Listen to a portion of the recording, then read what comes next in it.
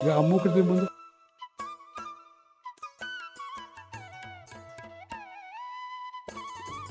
నూనె పోయి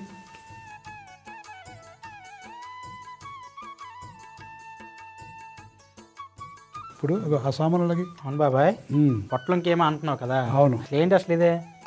కేమా వండుతాం కదరా. కేమా వండి దాన్ని పొట్లం కడతాం అరిటాకులో అరిటాకుతో పొట్లం కట్టి అప్పుడు పలావ్ తయారు చేస్తాం. ఆ పలావ్లో ఈ పొట్లం ఉంటుంది. నీకు అర్థమైనా చూద్ది కానీ. చెప్తే నీకు అర్థం కాదు. మర్చిపోరు కదా? అది మట్టిపూర కాబట్టే అది ఎందుకు చీ అనుకుని వెళ్ళిపోయిందో నాకు అర్థం కావట్లేదు. కష్టపడి ఎంత చేస్తున్నావు? తినే యోగం లేదు బాబాయ్. ఎక్కడికి వెళ్ళిందో ఏం చేస్తుందో ఏటో వస్తుంది రా కంగా నేను అడుగుతానన్నా వచ్చాక నేను అడుగుతాను. ఏం బాధపడకం. నూనె చూడు తాగిందేమో.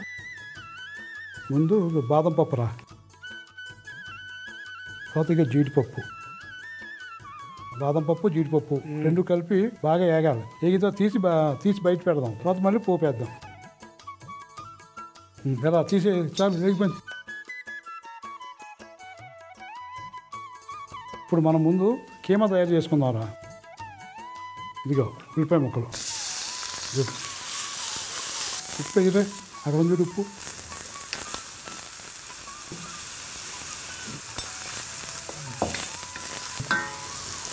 అల్లం వెల్లుల్లి పేస్ట్ చేసేద్దాం. అల్లం వెల్లుల్లి వేసాం కదా పచ్చి వాసన పోవాలి అదే ఉల్లిపాయ కూడా కొంచెం వేగాలి.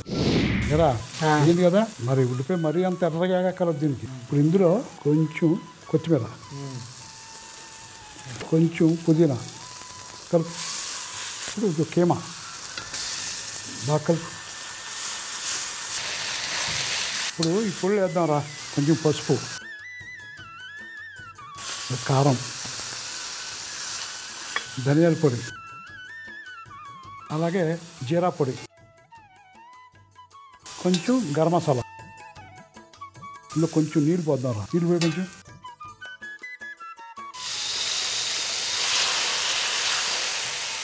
మూత తీ, మూత ఉంటుంది దా మూత పెట్టే పది నిమిషాలు అలా ఉంటే కేమా కదా తొందరగా ఉడికిపోద్ది ఆ అరిటాకులు తీసుకెళ్ళగా చేరా ఉమ్. ఈ- ఈ పొయ్యి ఏంటి చేరా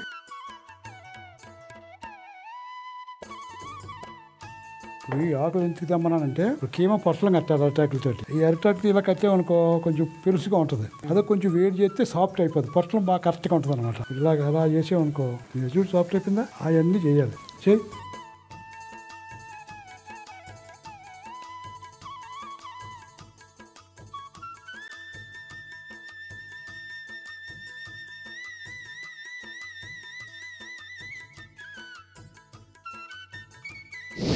రైట్ అయిపోయిందా? కీమా కూడా అయిపోద్దిరా అయిపోయింది ఇది. కీమాని పొట్టలు కట్టాలరా. దారం అక్కడ పెట్టు. గుడ్లు ఉన్నాయి గుడ్లు. షాపింగ్ బోర్డు ఎలా తీసుకోకుండా ఇక్కడ పెట్టు. ఇప్పుడు ఎలా చేయాలంటే ఆకులు ఉన్నాయి కదా ఒక ఆకు ఇలాగా. ఇలాగ. అంటే ప్లస్ గుర్తులాగా అన్నమాట.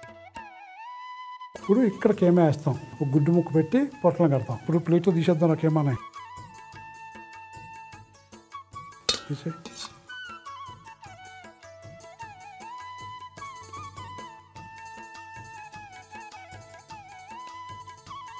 రైట్.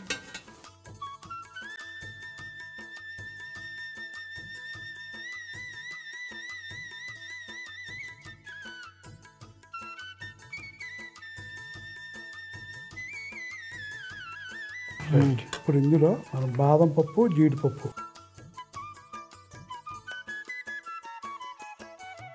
అలాగే కోడిగుడ్డు ముక్క. పొట్లు కట్టు.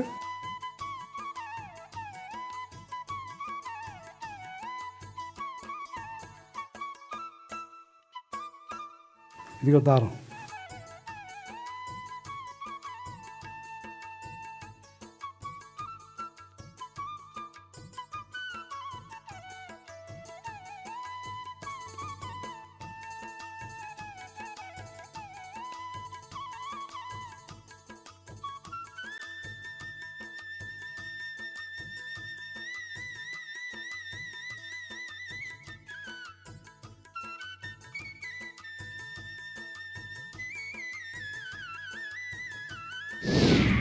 అయిపోయిందిరా. ఈ పలావ్కి గిన్నె పెడతారా పొయ్యి మీద. దా పొయ్యి ఏంటి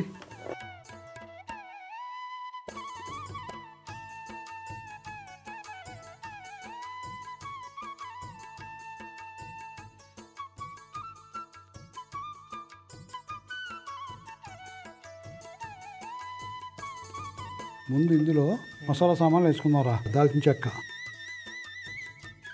లవంగాలు. యాలకులు. ఇది బిర్యానీ ఆకు. మరాఠీ మొగ్గ. ఇది బండ పువ్వు. ఇది షాజీరా. జాపత్రి రా. ఉల్లిపాయ చేద్దాం. తిప్పేయరా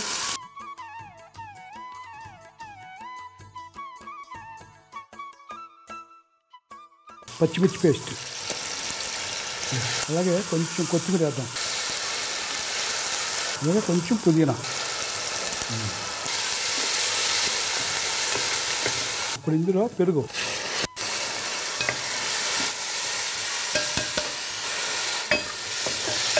ఈ కప్పుతోటి కప్పు రైస్ తీసుకున్నాను రా. నానబెట్టాను ఆల్రెడీ. కప్పుకి రెండు కప్పులు నీళ్ళు పోయాలి.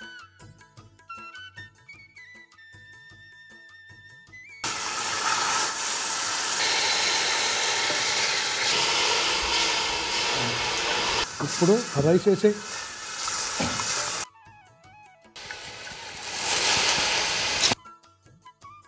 కొంచెం నెయ్యి వేయరా?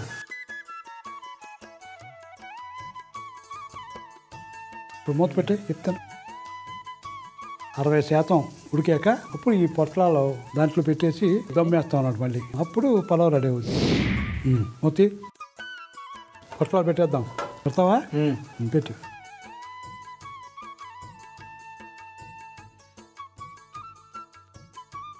మూత పెట్టు ఆ చిన్న రోడ్డు ఎలా పట్టరా? దమ్ పెట్టు. పదిహేను నిమిషాలు అయితే దమ్ అయితే పొట్లం కేమా పొలం రెడీ. ఈ బిర్యానీ కూడా తీసేద్దాం. పొట్లాల బిర్యానీ. నెమ్మది పొట్లాలు తీసేయటం మనం. పొట్లాలు తీసేసి ప్లేట్లు పెడదాం.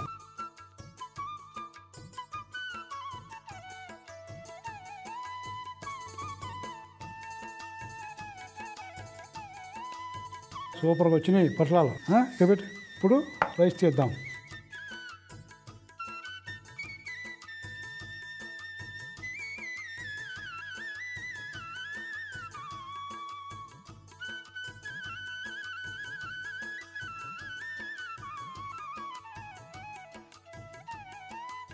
రే ఇక్కడ గట్టిగా నొక్కు సమానంగా. ఇప్పుడు ప్లేట్ ఉంది ఆకు ఉంది కదా. ఏం చేయాలంటే ఇలా పట్టుకో ఆకు ఇలాగా? ఇలా పెట్టు. ఇలా పెట్టి ఇలా తిరగాయి ప్లేట్లోకి. అది రైట్. అక్కడ పెట్టి అలా పెట్టి నెమ్మదిగా తీ. అయ్యో అక్కడ పెట్టు.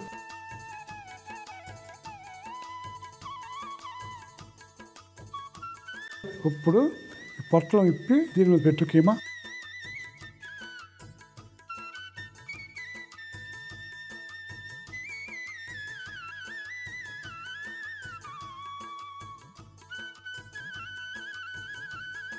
దీనిపైన కొత్తిమీర వేద్దాం. మంచి డెకరేషన్గా ఉంటుంది. బాగుంది. అక్కడ పెట్టా కడాయిలో నూనె పోసుకొని బాదం పప్పు జీడిపప్పు వేసి వేయించి తీసేయాలి. మళ్ళీ అదే నూనెలో ఉల్లిపాయ ముక్కలు ఉప్పు అల్లం వెల్లుల్లి పేస్ట్ వేసి కొత్తిమీర పుదీనా కీమా వేసి బాగా కలిపి పసుపు కారం ధనియాల పొడి జీరా పొడి గరం మసాలా నీళ్ళు పోసి ఉడికించుకోవాలి. ఈ లోపు సన్నటి సగపైన అరిటాకును కాల్చి ఒకదానిపైన ఒకటి పెట్టి మధ్యలో కీమా వేయించిన బాదం పప్పు జీడిపప్పు ఉడికించిన కోడిగుడ్డు పెట్టి అరిటాకు మడిచి పొట్లంలో కట్టుకోవాలి. తరువాత గిన్నెలో నూనె పోసుకొని దాల్చిన చెక్క లవంగాలు యాలక్కాయలు బిర్యానీ ఆకు మరాఠీ మొగ్గ బండ పువ్వు కాజీరా జాబత్రి ఉల్లిపాయలు ఉప్పు పచ్చిమిర్చి పేస్టు కొత్తిమీర పుదీనా పెరుగు నీళ్ళు నానబెట్టిన బియ్యం నెయ్యి వేసి సగం ఉడికించి కీమా పొట్లాలు పెట్టి పదిహేను నిమిషాలు దమ్ చేసుకుంటే పొట్లం కీమా పలావ్ రెడీ.